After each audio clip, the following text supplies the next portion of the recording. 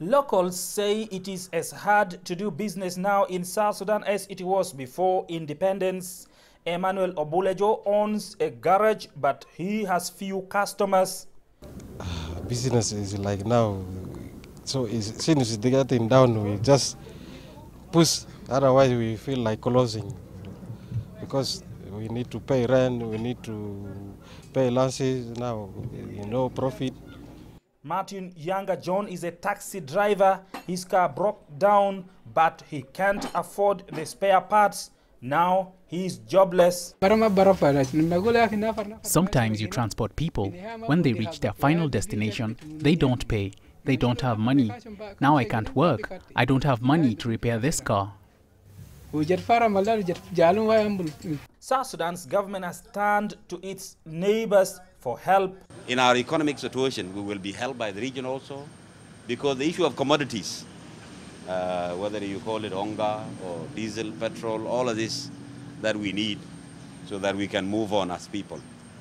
The region will also help in, uh, in providing those uh, items. Locals are hoping Kenya, Uganda and Sudan will consider the government's request favorably so that as efforts are underway to resolve the political disputes, simultaneously business environment can also improve in South Sudan.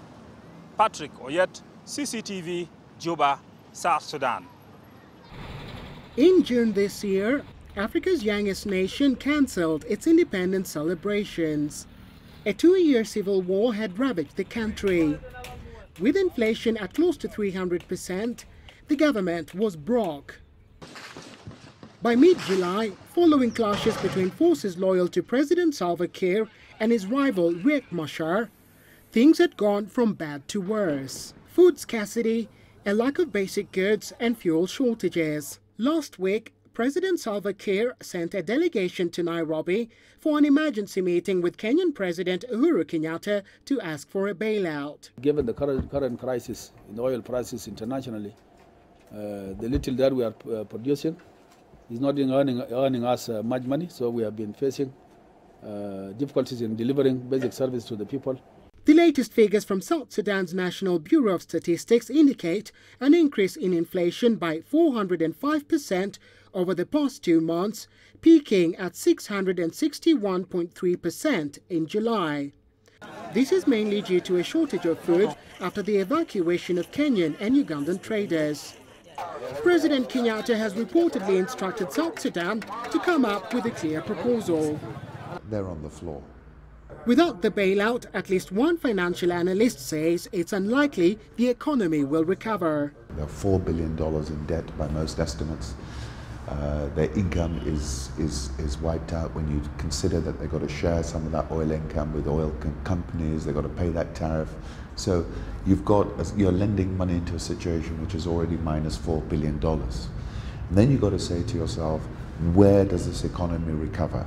South Sudan is already struggling to access loans. And if Kenya does agree to the bailout, it will likely attach conditions to safeguard taxpayers' money and try to instill some discipline in Juba's fiscal management.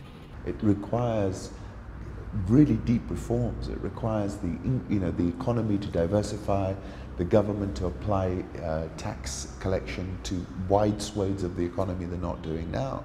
As yet, neither Kenya nor South Sudan has put a figure on the bailout. That figure likely to be determined later this week when the two sides meet. However, it is thought that the loan will be along the same lines as the economic bailout of Zimbabwe by South Africa a while back. Robert Nagila, CCTV, Nairobi, Kenya.